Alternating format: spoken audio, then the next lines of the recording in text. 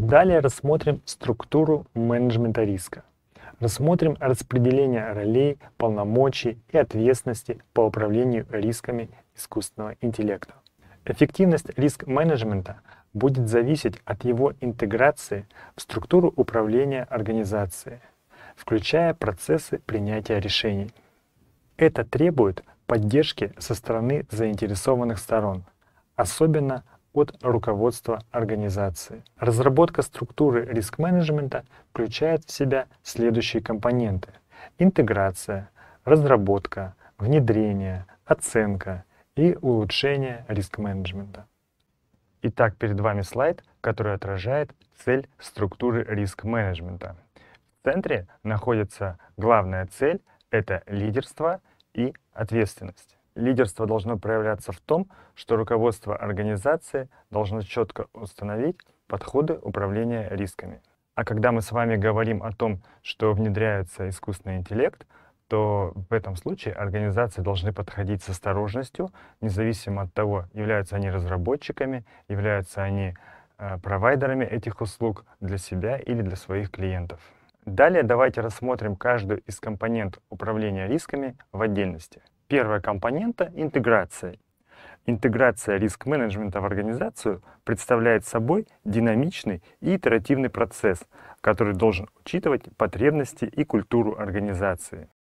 Риск-менеджмент должен быть неотъемлемой частью целей организации, корпоративного управления, лидерства и ответственности. Далее идет компонента разработка структуры риск-менеджмента. Ее мы рассмотрим более подробно, и она состоит из нескольких шагов, которые тоже мы рассмотрим.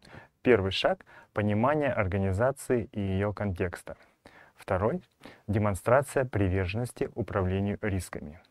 Третий — определение организационных функций, полномочий, ответственности и подотчетности. Четвертый — обеспечение доступа к необходимым ресурсам. И последний — установление механизмов обмена информацией и консультирования. В процессе изучения контекста рассматриваются следующие факторы. Первый — социальный, культурный, политический, правовые, регулирующие, финансовые, технологические, экономические и экологические факторы на разных уровнях. Второе — основные движущие силы и тренды, влияющие на цели организации. Третье — взаимосвязи с внешними заинтересованными сторонами, их восприятие, ценности, потребности и ожидания. Четвертое. Контрактные отношения и обязательства. Пятое. Сложность цепочек связей и зависимостей. Следующий шаг — демонстрация приверженности управлению рисками. Она должна быть реализована посредством политики, программного заявления или иным любым другим способом. Приверженность к риск-менеджменту должна включать, но может не ограничиваться следующими принципами.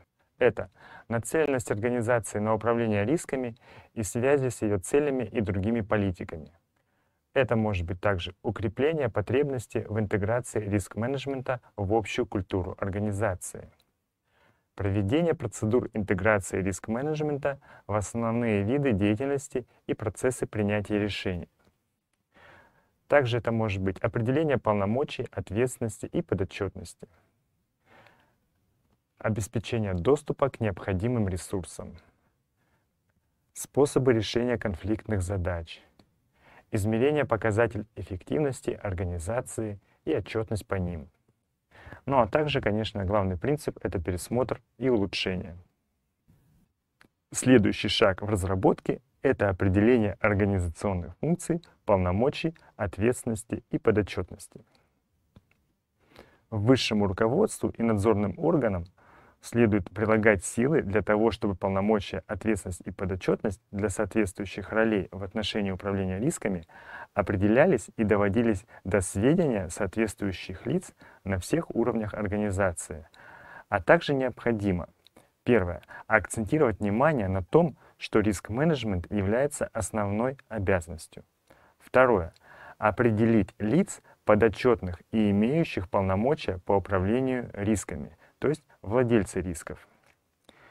Третье. Руководство или контролирующие органы в организации должны распределить ресурсы и назначить лица, уполномоченные устранять риски искусственного интеллекта ну и ответственные за создание и отслеживание процессов устранения рисков с искусственным интеллектом.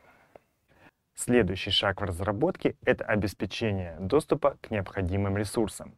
Руководству организации следует распределять соответствующие ресурсы для управления рисками, которые могут включать, но не ограничиваться следующими ресурсами. В первую очередь это люди, навыки, опыт и компетентность. Второе — это процессы, методы, инструменты организации, используемые для риск-менеджмента. Третий ресурс — это документированные процессы и процедуры. Четвертое — это системы управления информацией и знаниями. И пятое — это профессиональное развитие и обучение. Последний шаг — это установление механизмов обмена информацией и консультирования. Коммуникация предполагает обмен информацией с целевой аудиторией. Консультирование также подразумевает получение обратной связи от участников этого процесса с целью ее учета при принятии решений и осуществлении других видов деятельности.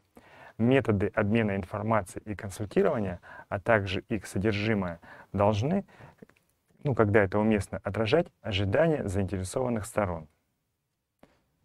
Обмен информацией и консультирование должны быть своевременными – и обеспечивать сбор соответствующей информации, сопоставление, обобщение и распределение соответствующим образом. А также должна быть предоставлена обратная связь и проведены улучшения. Теперь давайте поговорим про реализацию структуры риск-менеджмента в организации. Реализация структуры осуществляется за счет следующих принципов или инструментов. Давайте их также перечислим. Это первое. Разработка соответствующего плана с определением сроков и ресурсов. Второе. Определение того, где, когда и кем а, принимаются различные типы решений в организации. Третье. Модификация применимых процессов принятия решений ну, при необходимости. И четвертое. Определение понимания и правильного применения механизмов управления рисками организации. После реализации структуры необходима ее оценка. С целью оценки эффективности структуры риск-менеджмента организации следует, во-первых, проводить периодическую оценку эффективности структуры с точки зрения ее цели, планов, реализации, показателей и предполагаемого поведения.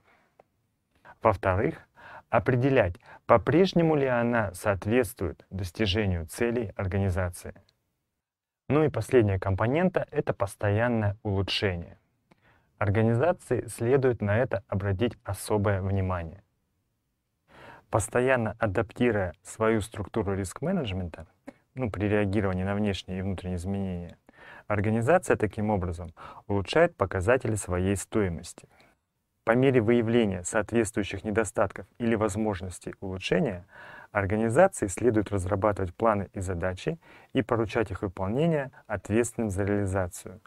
После реализации эти улучшения должны способствовать совершенствованию риск-менеджмента.